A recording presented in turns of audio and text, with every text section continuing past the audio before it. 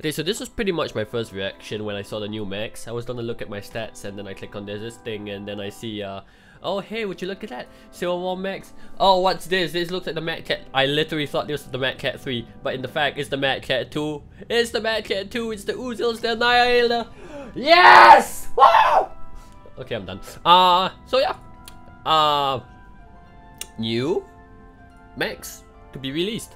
Uh, all of them are clan except for the Annihilator. Uh, if we go to the MechWarrior website again, we'll talk about the weapons first before we talk about the mechs and what they're able to do. That will be a whole lot easier. Now, uh, I have a bit, of a, a bit of a cold, so uh, excuse the sniffling. Mm. So, for IS, we get new uh, new weaponry. First of all, LBs, pretty nice, but um, L clan LBs are already not that good. Except for like if you need a sword and board build, like a total blunderbuss build, but it's welcome. Ultra 10s and Ultra 20s and Ultra 2s for IS. Now the Ultra 2s will, will be hilarious, I'm looking forward to that actually. Yeah, small ER mediums, which will synergize very well with the weapon we're about to talk about next, which is not Streaks. Streak 4s and Streak 6s. Please, no, fuck. It, it's already really hard to run a light mech, stop with the Streaks. And here we have the light and heavy Gauss. Now the heavy Gauss will most definitely synergize really well with ER mediums. ER mediums, all they have is extended range over standard medium lasers, but they produce 2 more heat per, per laser. So what actually you can do with the IS heavy Gauss is like on Warhammer 6R for example, you have to put 6 ER mediums and a heavy Gauss. And I think the optimum range should be about 350 meters, 300 or maybe 400 meters, I'm not too sure, I have to check uh, the Sarna website. But heavy Gauss will be really useful instead of like bringing two Gauss rifles, you just pick one heavy Gauss and it does five less damage than two Gauss. The range is significantly less though, but still, this is that'll be a really good mid-range weapon. Now for light Gauss, I'm not sure what the purpose of light Gauss would be. Besides putting Dew Gauss on like a blackjack or something, which would be hilarious. But um, I'm not too sure actually what you want to do with light Gauss. We'll see how it goes. Uh, light machine guns. Why would you want to bring a light machine gun? Longer range, sure, but deals less damage. I mean, machi standard machine guns already deal very little damage in, it, uh, in themselves. So, heavy machine guns will be absolutely hilarious, and I can hear all the people crying about the Spider 5k all over again. MRMs, um, I'm not sure what to think about this weapon. It's medium range, unguided, low damage. That means that one missile does one damage. Um, because it's medium range, and if you want to balance them between LRMs and SRMs, the velocity will have to be very slow in comparison to SRMs. So we have to see how this goes, whether MRMs will be useful or not. But hopefully, well, I'm, I'm putting too much hope in PGI, but hopefully they balance this weapon well because it would be absolutely hilarious to have an MRMs. Uh, rocket launcher 10s, 15 and 20s. Now these are basically one-time use SRMs. Uh, one shot is launches fire undirected low damage rockets. I think it's 1 damage per rocket, so it's like 10, 15, 20 damage. This would be really useful for light mechs, but I think it's more useful for tabletop because tabletop uh, there were le there's less armor, and so yeah. But these are fairly lightweight, and if you need to do a big heavy punch in a mech, I think the rocket launcher would be fine. Light PPCs and heavy PPCs. Now, heavy PPCs deal 15 damage for 15 heat, but I think they have less range? They have slightly less range, or they might have the same range as standard PPCs, not too sure, I haven't looked up Sarna yet uh, for the PPCs. So the light PPC is basically standard PPC that does less damage, I think it does 8 or 7 damage, but produces less heat and it's less tonnage. The heavy PPC is 1 ton heavier, if I remember correctly, that does 15 heat, 15 damage. I'm not sure about the range. The range might be more than the standard PPC or might be less. Snub-nose PPC would be really interesting. Uh, if my calculations are correct, the snub-nose PPC might have a similar range to IS large pulsers, which makes them fairly usable, especially with the uh, the weight savings they have. It would be like six one ton less. Uh, of course, reduced range because it's a snub nose. No medium range as well, which makes it fairly useful. Uh, I can think of a fair few mechs that can make use of the snub nose PPC. Uh, you could possibly do two snub nose PPCs and like one heavy Gauss for all I know. I mean, but you need um, you need a standard engine to use uh, heavy Gauss, and it needs to be torso mounted.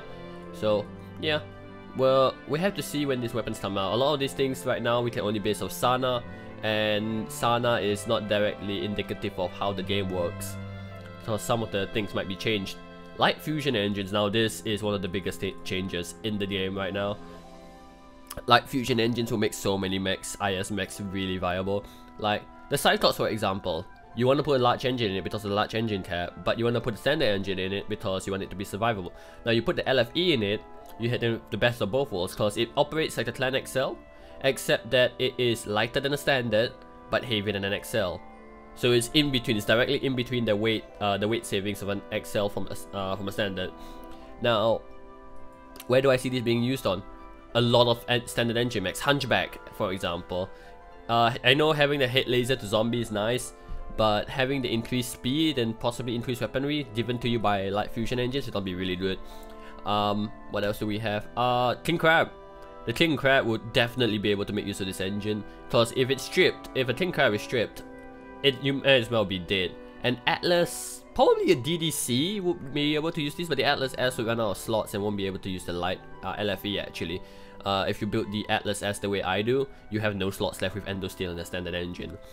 Uh, what are the mechs? The Victor might possibly benefit from this, but you might have to sacrifice some weaponry and some uh, armor and equipment to be able to fit the LFE. I'm not too sure whether I want to do that or not. The Orion would definitely be... Ooh. Oh yeah, the Orion would definitely be able to make use of this. Ooh. And a lot of other standard engine mechs which you want to make survivable and don't really need the tonnage. Well, you want to make though... Well, it's the tonnage savings, yeah. So, LFE would be the I think it would be the biggest game changer out of all of these things here. Now of course to complement the light fusion engine we have light ferrofibers. Now light excuse me light ferrofibers armor would be extremely useful if you have like a mech that uses endosteel for example but doesn't have enough slots for ferro but still has say maybe 7 uh 7 critical slots left. Now, light ferrofibers is a heavy version of ferrofibers, but it takes up half the amount of slots, only 7 which means that, like, for example, you have your, mm, excuse me, I do have a bit of a flu, so forgive me for that. Um, say you have your laser vomit grasshopper. You fill it, it's filled up to the brim with heat sinks, but you still have seven slots left somehow. Just hear me out here. You'll be able to put light ferrofibers and maybe like possibly squeeze in more armor, a slightly bigger engine, stuff like that. So it's gonna be fairly useful. I'm a fan of this. Stealth armor is well, the way that stealth uh, stealth armor works is that it prevents you from getting locked on completely when you're when it paired up with ECM. Now, the way the current ECM works is that you can't be locked on at all unless you're within a certain minimum range, like around uh, 180 meters or something, if I'm not mistaken. Um, so I'm not sure how useful this will be, but this will mean that um, your stealth armor, right? If you have like a Raven 3L with stealth armor and ECM, you will be completely undetectable. Streaks will not be able to lock onto you. I think maybe un unless they have a tag or a BAP. No, no. Stealth armor is... Oh. No, a Beagle active probe does not counter stealth armor plus ECM. I think it's the Bloodhound active probe, which we don't have in the game. Uh, it's up to PGI to um, decide how it will work and all. But that means that, like, probably streak mechs won't be able to target you unless they have a tag or they knock you. Well, we'll have to see how this works. I'm not sure if it's worth it or not because it takes up 12 critical slots, but it's the same weight as standard armor.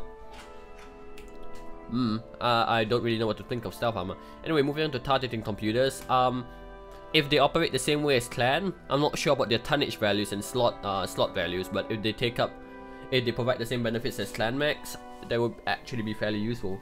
Laser AMS will be Laser AMS is actually pretty good, considering that um a lot of the downsides of being an AMS was that the amount of ammo you had, uh, the amount of tonnage you had to sacrifice for ammo. And I think Laser AMS is like a ton each instead of like half a ton of the standard AMS. So you can bring three tons of equipment, and you don't need to bring like three tons of ammo, for example, to compensate with the AMS. And it works with AMS overload. Now, the trade-off obviously being that it generates heat while it's using uh, while it's firing.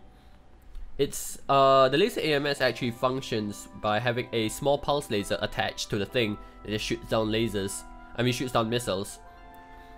This will not exactly be game breaking, but be pretty interesting. It might encourage more usage of AMS, because having to sacrifice quite a fair bit of tonnage for AMS ammo, and then eventually running it out, especially if you're on Polar Highlands, dear god, fuck that map, um, this will be pretty useful. Now, onward to clan technology, same shit, light and heavy machine guns, so that'll be very useful for mechs like the Viper, the Shadowcat, excuse me, the Nova actually will benefit from this as well, the heavy machine guns. Got a fair few other mechs as well. We'll see how it goes. Now, we have ER micro lasers. Now, the difference between micro lasers and small lasers is that, uh, besides the size, eh, um, it's a one slot laser that is a quarter ton. So it's 0.25 tons, which is half the weight of a normal small laser. And I think the micro pulse laser is like uh, half a ton? I'm not too sure. But these would be fairly useful if you want to like laser boat to oblivion but still want to have a lot of heat sinks. I'm not sure how the range on them will be. We have to see how it goes. Uh, I haven't checked Sarna for micro lasers yet because I was never really interested in them. It might be good actually for the uh, for the Arctic Cheetah because 6 small pulse lasers is actually fairly hot and if you put like 6 micro pulse lasers you'll be able to put more heat sinks. The range will be significantly reduced though. We have to see what they do with the range. If the range is like really low then there'll be a bit of an issue. Anyways, moving on to the heavy lasers. Heavy lasers are a family of lasers that do high damage at the cost of higher heat and less range. This is potentially game rating as well because I know in MechWarrior 4 that heavy lasers were very, very powerful and I think even in, uh, let me lean back my chair here, in MechWarrior Living Legends, heavy lasers were also pretty fucking powerful. So on mechs, they are able to afford the heat expenditure, maybe like a uh, Say instead of doing the 2 large pulse 4 medium laser Timberwolf, you instead do a 6 heavy medium laser Timberwolf. It does more damage. I think it might even produce more heat. But it has shorter ranges. I, you have to see how it goes honestly. Um, what the applications of this will be like. What mech will be able to use this heavy laser effectively without getting gimped by clan heat. Because the reason why the laser vomit thing uh, was so the laser vomit clan meta was so prominent was that it had good alpha and it had good range but the heat was obviously horrendous. And that was the reason why um you use large pulsers and medium because the range was pretty good. You wouldn't use medium pulsers because you had to be 100 meters closer. Light tag weighs less. Half ton tag that has less range. Self-explanatory will this change much? It might encourage people being tag a bit more. I'm not too sure about that ATMs, advanced tactical missiles, or missiles whose damage will be will vary based on the distance it travels. The higher high damage up close, lower damage at long range. Now I'm not sure how ATMs were in the other MechWarrior games, but and I'm not sure about the tonnage as well. Actually, let me just check the tonnage. Um, one moment. Sarna ATM. Um, okay, so we're looking at the ATM 9, which is the higher end spectrum of the ATM. Produces 6 heat, and it's 5 tons. Oh! And it does 3 damage per missile. So ATM 9 can do 20. Wow. Wow! Huh. The ATM will be really good then. Maybe I could put like, depending... Oh, I didn't check the heat, shit. so it's 6 heat and it weighs five tons. Excuse me. Um, yeah, I'm not that healthy at the moment. So I could put like four ATM nines or something in a Timberwolf. Ooh. Ooh. ATM Mad Dog. Thinking. Oh god, I might actually need to rebuild my Mad Dog at this rate with ATMs. Whew. Probably ATM 6s though, because they will be uh, more in tune with the uh, well we, ha we have to look at the fire rate as well because Sarna will not tell us anything about the fire rate because as all the fire rate in this game is totally based on PGI values and uh, because you only get, to fire a weapon once per turn unless it's a UAC or a rotary cannon. Actually, uh, did I skip over the rotary cannons? Yes I did. Um, the rotary AC2 and AC5 genuinely unsure how they will work because I've never I never really played the other uh, MechWarrior games, but from the description, it's a extremely rapid firing autocannon with uh, rotating barrels. They can have a jam chart. They can jam if they fire too long. The spinning barrels will likely have a ramp up time, so pretty much like Gauss rifles where you have to charge them up, and then before they start firing, and a ramp down time before they stop. We have to see them in game to actually know how they'll work, because a lot of the weapons that are in MechWarrior Online function quite a fair bit differently from the other MechWarrior games. This is all, the, uh, this is what I've been told for other people who have played the other MechWarrior games. Like the, like Active Probe, like uh probably I think it's a half ton BAP which has lesser range. I don't know how useful this will be, but um, eh, eh. and Clan Laser AMS. So, wow, this is a 15 minute video already. Shit. So those are my. I'm gonna release this as one video. My thoughts on the new weapons, and after that, I release my thoughts on the new mechs. Uh, probably later on today. So I hope you enjoyed the video. It was just mostly me, just me, just talking, giving my thoughts about how the weapons can change the meta and stuff like that. Hope you all enjoyed the video. I, once again, didn't script it, that's why I completely forgot about the rotary cannons.